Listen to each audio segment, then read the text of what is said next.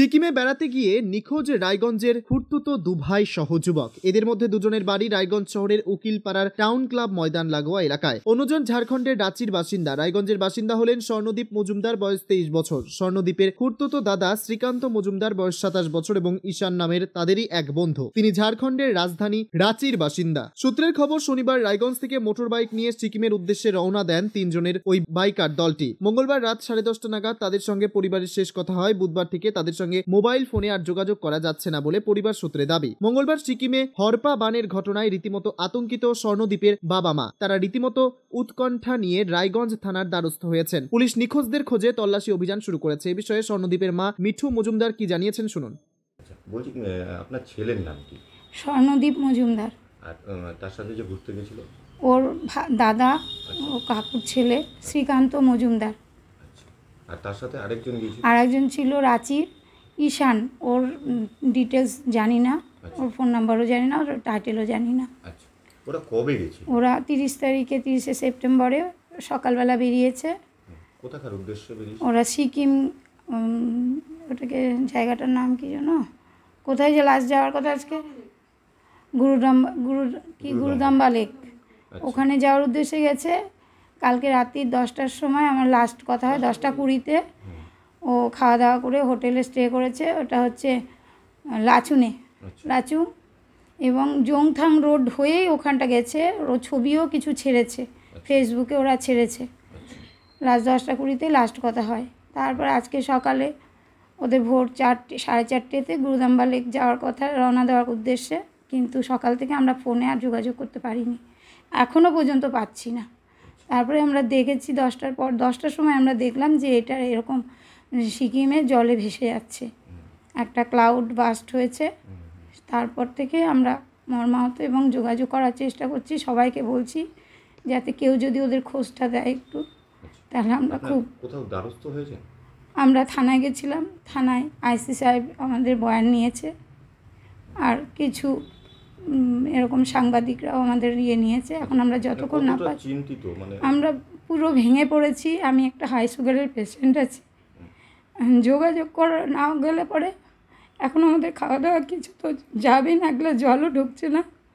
যত- আইসি স্যার বলছে যতদূর সম্ভব আইসি স্যার তাড়াতাড়ি করে আমাদের বয়ান নিয়ে চেষ্টা করছে। কালকে লাস্ট কি কথা বলেছিল আপনার কালকে রাত্রিরে আমার সঙ্গে আমার ভয়েস রেকর্ডও আমি করে রেখেছি আমার ছেলে। খাওয়া দাওয়া করেছে এবং জলটা কম খাচ্ছে। আমরা সবসময় বাইরে গেলে বলি জলটা খাওয়া বলল হ্যাঁ জল খাব। শরীরটাকে মানে দুর্বল যাতে না হয় ডিম খাওয়ার কথা বলি এগুলো ভয়েস রেকর্ডও আমি করে রাখি বাইরে গেলে। ছেলে বাইরে গেলে আমি ভয়েস রেকর্ড করি আগে। যে কখন কোন টাইমে আমি কথাটা বলেছি কখনও ঘুমাতে যাচ্ছে আমি ভয়েস করি। এবং ভয়েস আমার কাছে এখনও আছে। কিসে করে গেছে? বাইক নিয়ে গেছে। তিন বন্ধু বাইক নিয়ে গেছে। বাইকে কিসের উদ্দেশ্যে গিয়েছিল? ওরা ঘুরতে গেছে সিকিম ওই গুরুদম্বা লেক ওইগুলো ট্যুর করতে গেছে। কিন্তু এরকম গেছে এর আগেও একবার সিকিমে ওরা গেছে তিন ভাই। আমার ছোটো দাওয়ারের ছেলেও ছিল ওরা তিন ভাই গেছে। আজকে এবা- এবার গেছে একটা সিকিমে এই ওটা কোন জায়গাটা বললাম? রাঁচির ছেলে ওর বন্ধু আমার দাওয়ারের ছেলের বন্ধু। রাঁচির ছেলে ওর পুরো ডিটেলস জানি না আমরা। আর আমার ছেলে আর আমার দেওরের ছেলে শ্রীকান্ত। এরা তিনজনা গেছে। দাদা আপনার নাম? কমল মজুমদার। আপনার ছেলের নাম? শ্রীকান্ত মজুমদার। কি করে ও? চাকরি করে এইচএসবিসি ব্যাংকে আচ্ছা। কলকাতায় পোস্টিং কোথায় গিয়েছিল আর কি? ওরা যাচ্ছিল জিরো পয়েন্টে জিরো পয়েন্ট বলতে? ওই আপনার সিকিম। সিকিম। কাল কালকে রাতে লাচেনে ছিল। আচ্ছা। লাস্ট দশটা সাড়ে কথা হয়েছে। লাস্ট কথা হয়েছে। বলল সকালে ভোরবেলা বেরোবো সব প্যাকিং করতেছি। সকাল থেকে কোনো যোগাযোগ করতে পারতেছি না আমি। হ্যাঁ। এখন অবধি কোনো যোগাযোগ করতে পারতেছি না। চিন্তায় আসি টেনশনেও আসি কি হলো না হলো। এটা খবর পাওয়া পেলাম যে সিকিমে গাড়ি ধসে গাড়ি ভাসে গেছে তেইশ জন নিখোঁজ হয়ে গেছে সেনাবাহিনীর আচ্ছা। এই নিয়ে চিন্তিত। লাস্ট যখন কথা হলো কি কথা বলল? বলল যে আমরা এখন প্যাকিং করতেছি জিনিসপত্র কালকে ভোরবেলা বেরোবো জিরো পয়েন্টে যাওয়ার জন্য। তো এরকম কি প্রায়শই ওরা ঘুরতে যায়? হ্যাঁ যায়। গত বছরে গেছিল। কে কে গেছিল ওরা? আমার ছেলে আমার নিজের ভাস্তা আর ছেলের এক বন্ধু সে রাঁচির থেকে এসছে। তিনজনে তিনজনে আরেক ভাস্তা যাওয়ার কথা ও আজকে শিলিগুড়িতে বৃষ্টিতে আটকে আছে ও আর যাবে না। ও খবরাখবর চেষ্টা করছে খবর পাচ্ছে না। প্রশাসনের থেকে কেউ না কেউ আসেনি আমাদের কাছে। কে আসেনি? কেউ কে আসেনি কেউ আসেনি খোঁজ করতে। আচ্ছা আপনি কি চাইছেন?